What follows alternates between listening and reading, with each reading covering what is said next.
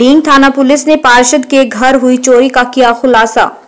डींग थाना पुलिस ने करीब 20 दिन पूर्व पार्षद गीता देवी के घर पर हुई चोरी का खुलासा करते हुए आरोपी को गिरफ़्तार किया है और सोने चांदी के जेवरात को बरामद किया है। थाना अधिकारी रघुवीर सिंह ने बताया कि दिनांक 18 मई 2021 को पार्षद गीता देवी के पुत्र गिरीश शर्मा, पुत्र ओम प्रकाश जाति ब्राह्मण, उम्र 27 साल, निवासी लोहा मंडी डींग ने, थाना डींग में रिपोर्ट दर्ज कराई कि मैं व मेरे परिवारजन अपने लोहा मंडी स्थित निवास पर सो रहे थे।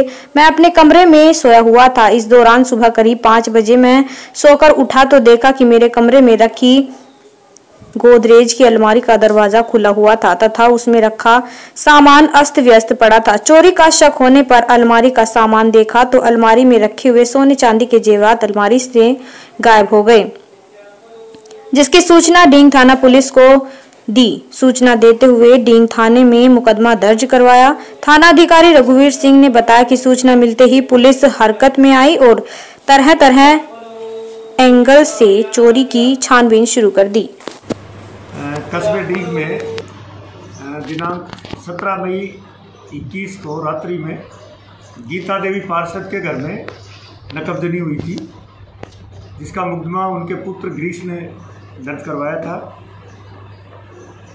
मामले की गंभीरता को देखते हुए श्रीमान एसपी साहब ने श्रीमान अडिस एस पी गुगलाल जी मीणा व सी साहब मदन जेब साहब के नेतृत्व में मेरे अधीन टीम गठित करके तलाश के लिए लगाए।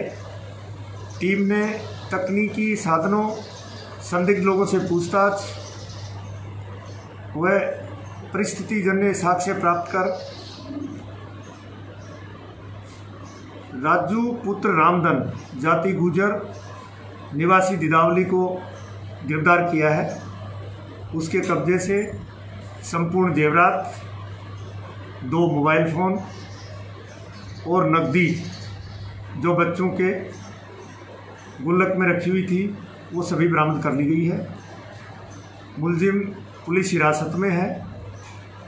अन्य कोई चोरी या और किसी नकबजनी में पूछताछ जारी है।